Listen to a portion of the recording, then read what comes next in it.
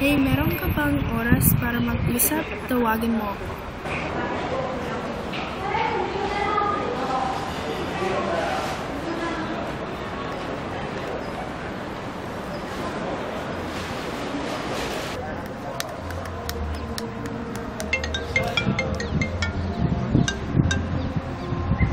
Hey babe, kumusta ka na? Mabuti naman, sweetie. Maayos bang lahat? Yeah, okay lang ang lahat. Namiss ko lang ang boses mo. Nandito ka ba ngayon, Nico? Um, hindi pa ako sigurado eh. Bakit?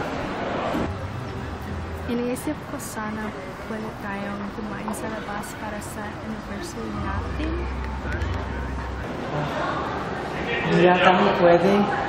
Booked ako sa mga shows, kaya busy-busy talaga ako eh. Okay. Gets ko naman. Sige, mahal. Pasensya na mahal. Tatawagan kita pag uwi ko, okay? Nasa studio ko ngayon. Nag-record. Mahal kita. Mahal kita.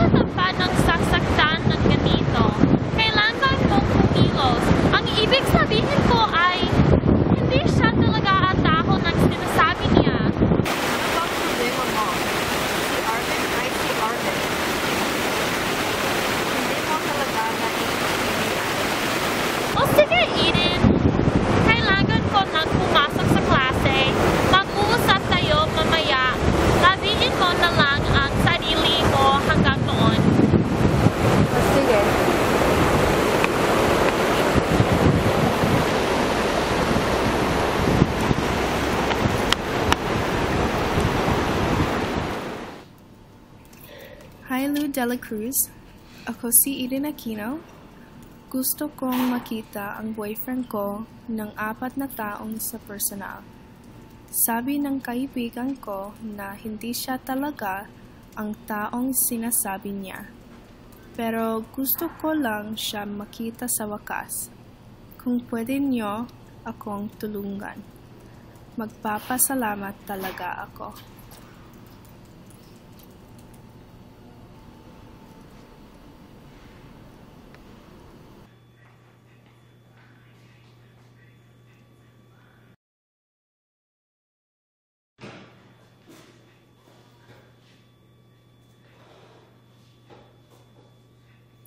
Dear Eden, ako si Lou de la Cruz. Ako ang host ng Istang Pusa. Salamat sa pagsusulat mo sa akin. Pinasa ko ang kwento mo at gusto kitang tulungan. Iniimbita kita sa show namin at gagawin ko ang lahat para magkita kayo ng boyfriend mo.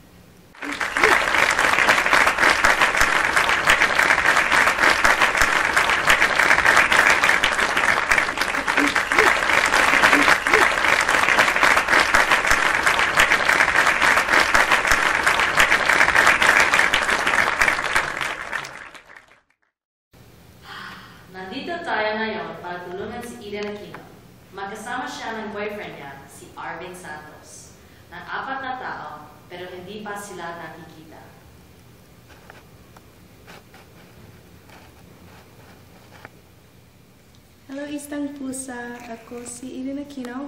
Apat na taon na kami magkasama ni Arvin. Nakilala ko siya sa Tinder at na in love kami kaagad. Pero palagi siyang busy sa studio niya at um, nag-aalala ko. Gusto kong pakasalan siya balang araw pero hindi kami magkakapagkasal kung hindi kami makikita. Mabuti naman na nandito ka, Eden. Hahanapin natin ang katotohanan dito. Ito ang host ninyo, Lou De La Cruz. Huwag kayong umalis. Lahat ng nangyayari na yon sa Isdang Pusa. Bago natin masolve ang misteryo na ito, kakausapin natin ang pinakamalapit na kaibigan ni Eden, si Joyce.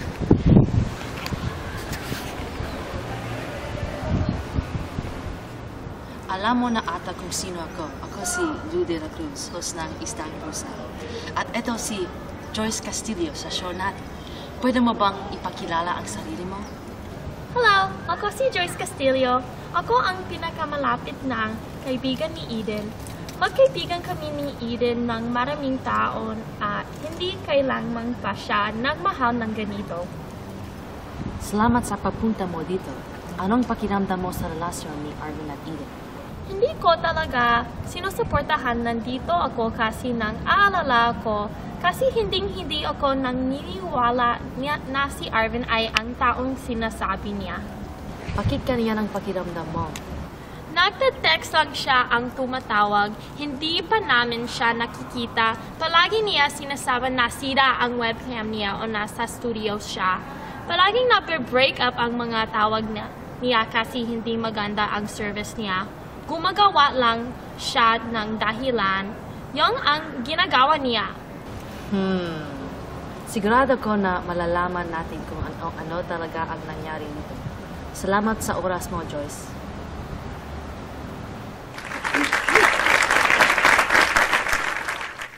Okay, Eden. Sa tingin ko, kailangan nating mag-umpisa sa umpisa.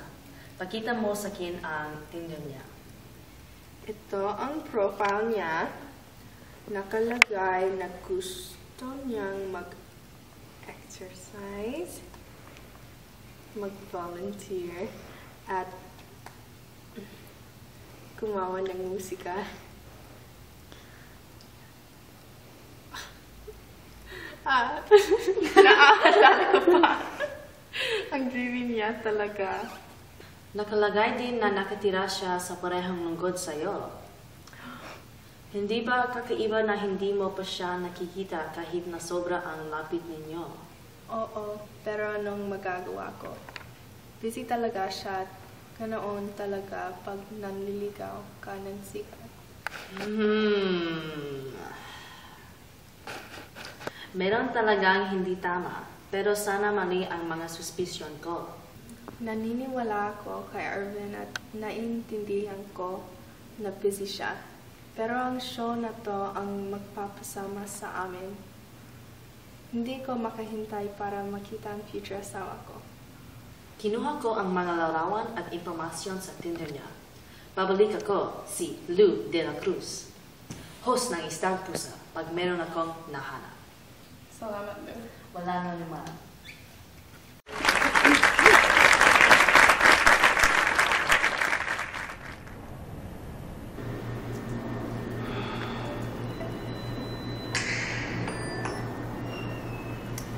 Hey, mahal. Kumusta? Wala lang. Mahabang araw lang. Pasensya na, Sinta. Gusto mo bang pag-usapan? Hindi okay lang. Okay. Hindi mo kailangan pag-usapan. Sumaya ka na lang, okay? Ayoko makita ang mahal ng buhay ko na malungkot. Salamat. Umiti ka para sa akin. Hindi ko nakikita pero alam ko na nakasimangot ka ngayon. Sweet mo naman. Paano ba ako naging ganito kaswerte? Hindi ikaw ang swerte. Ah, mahal. O sige, mahal. Pagod na ako sa pagtatrabaho sa buong araw eh. Kakausapin kita bukas, okay? Okay. Salamat sa lahat. Trabaho ko ang pagsasaya sa'yo. Sweet dreams, Sinta. Mahal kita.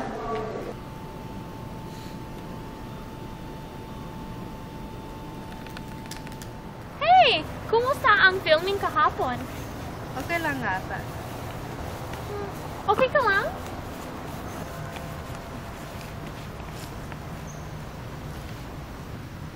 Feeling ko lang na may kasalanan ako kay Erwin. Dumadaan ako sa likod niya at pinapakita ko ang buhay namin sa buong mundo. Mag-cancel na lang at ako sa isang pusa. Eden, hindi mo pwede gawin yon. Kailangan mo makita kung sino siya. Nagsisinungali siya. Ano? Gaano ka bobo ka ba? Apa ng taon ka na sa isang peke relation? Peke off! Ano ba ang problema mo? Walang peke sa amin ni Arvin. Lahat ang peke sa inyo ni Arvin. Hindi ko kayang manood habang ginagawa mo to sarili mo. E di huwag kang manood. Hindi kita kailangan dito kung hindi mo ako susuportahan. O sige, good luck kay Arvin kung yung talagan ang pangalan niya. Bye! Hindi niya alam kung ano sinasabi.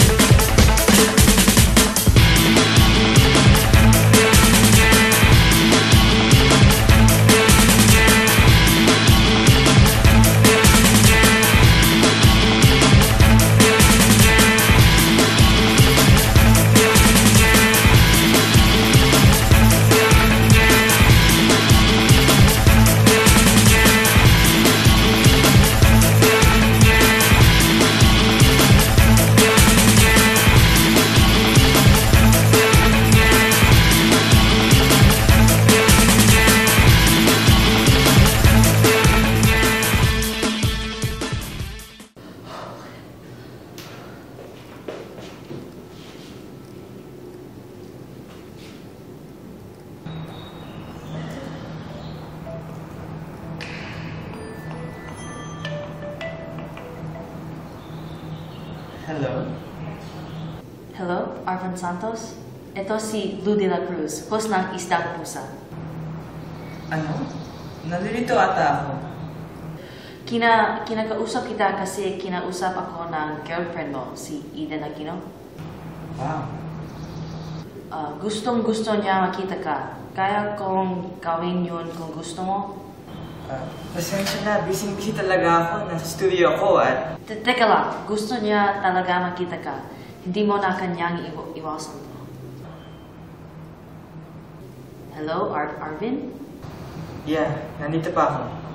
Pupuntahan mo ba siya? Um, oh, sige. Ayos, bibisitahin ka namin kung nasaan ka man mamayang hapon. Wow. Nangyayari talaga ito. Paalam.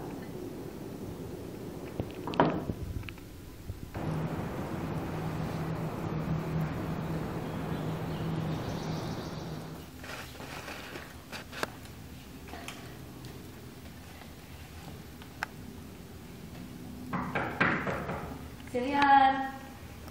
Ako lang! Oh, kumusta? Opo. Uh, Eden, nagagalak akong makita ka muli. Ako si Lou de la Cruz. Kumusta ka na? Okay lang ako. Neryosong neryoso lang. Normal lang yan. Pumunta lang ako dito para sabihin sa'yo na nahanap ko si Arvin. Talaga? Nag-contact ko siya at nag-oo na siyang makita sa atin. Hindi nga. Ang ganda naman ng palitan yan. Kailan? Ngayong hapon, gusto ko lang maghanda ka sa lahat ng pwedeng mangyari. Malaking hakbang to at hindi natin alam kung anong pwedeng asahan. Oo, alam ko. Masaya lang ako na, na nangyayari na ito sa bukas. Makikita ko si Arvin. Okay, Eden. Makikita tayo mamayang hapon. Salamat din sa lahat ng ginawa mo para sa akin.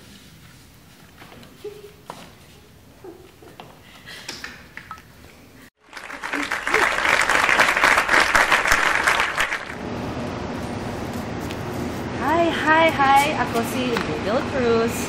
Handa na ba kayo? Apat na tao na ako. Ayos! Halika na! Hey, hey, hey, hey.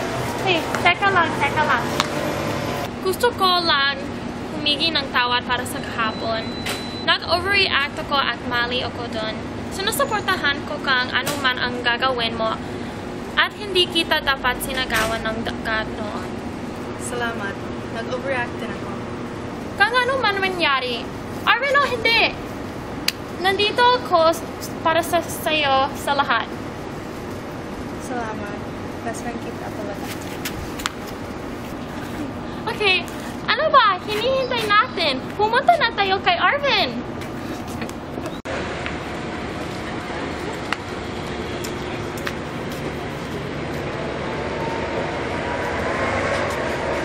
Dito na tayo. Sa likod mo lang kami, Eden. Tumatot na handaan ka na.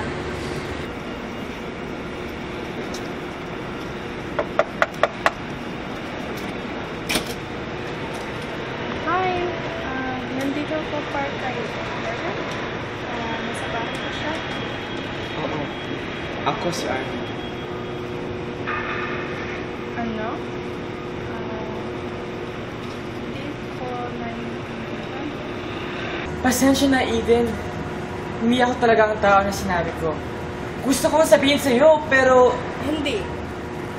Hindi ka si Arvin. Hindi ito pwede.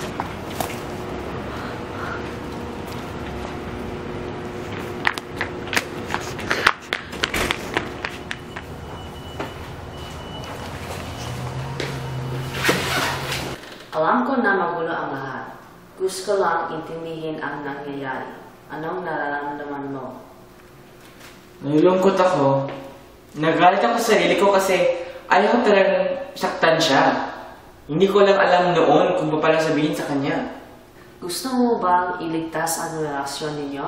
Totoo ba ang naramdaman po para, para kay Eden? Siyempre, mahal ko siya. Mahal na mahal ko siya. Hindi ko lang inakala na mamahal niya ako kung hindi ako yung hunk na nakita niya sa Tinder. Baka pwede mong mapaliwanag ang lahat sa kanya pagkama na siya. Medyo overwhelmed lang siya na yun. Walang posibilidad na babawiin niya ako. Nakita mo ba kung paano ako tinignan? Nasaktan siya talaga. Walang posible kong gagawin. Mukhang ito na ang huling pagkakataon mo para ayusin ang lahat. Pwede mong bigyan ang lahat na kaya mo na yon o pakawalan mo na siya. Tama ka. Ito na nga ang isang pagkakataon ko. Kailangan kong subukan.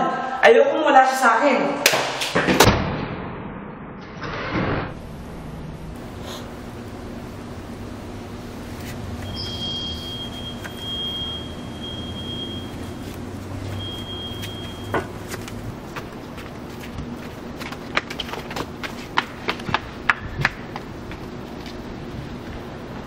Eden, Ano ba ang gusto mo? Laro talaga to sa'yo?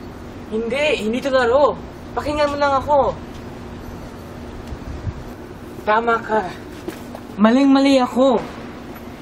Mula nung nakilala kita, hindi hindi isang araw lumipas na hindi ko inisip sabihin sa'yo ang katotohanan. Gusto ko makita ka at sabihin sa'yo pero ewan ko, nawala ako sa, sa, sa mga sinungalingan ko.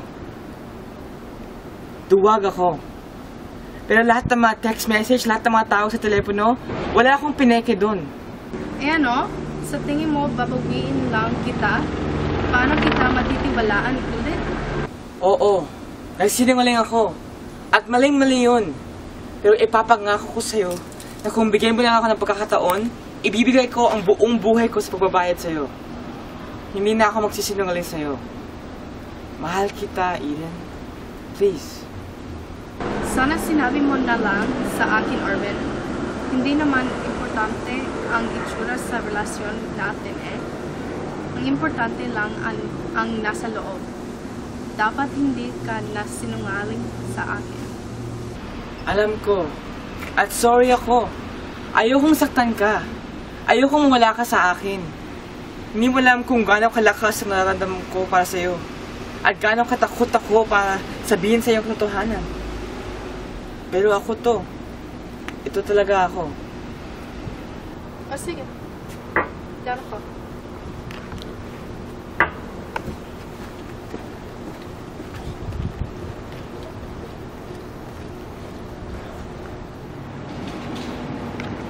Um, okay, hindi ko inakalang mangyayari yon, pero salamat sa iyong lahat sa panonood ninyo ng Isang Pusa. Ako si Lou De La Cruz, ang host ninyo. Hanggang makita tayo muli.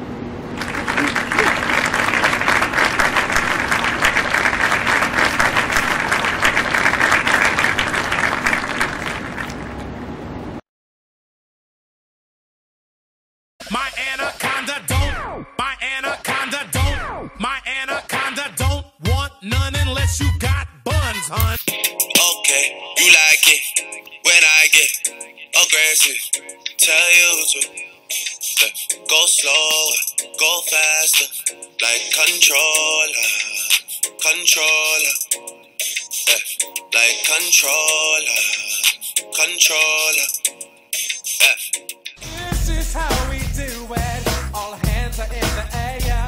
And wave on from here to there. If you're an OG Mac or a wannabe player, you see the hood's been good to me. Ever since I was a lowercase G. But now I'm a big G. The girls see I got the money. Hundred dollar bills, y'all. If you were from where I'm from, then you would know that I gotta get mine in a big black truck. You can get yours in a six. Somebody once told me the world is gonna roll me. I ain't the sharpest tool in the shed. She was looking kind of dumb with her finger and her thumb in the shape an L on her forehead. Well, the years start coming and they don't stop coming. Fed to the rules and I hit the ground running. Didn't make sense not to live for fun. Your brain gets smart, but your head.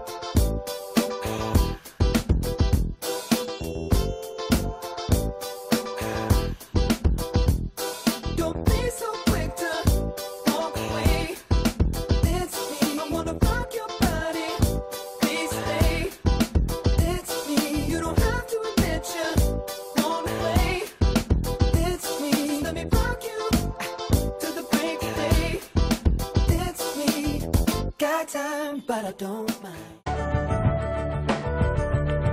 Napasal ka na ba sa Intramuros at Luneta? Palawan, Bigan at Batanes Subic, Baguio at Tristereses Namasdan mo na ba ang mga binta ng Sambuanga? Bulkang Tal, Bulkang Mayon, Beach ng Boracay at La Union Paglabas ko ng ulo Nang makilala ng gusto Ang ating kapwa Pilipino.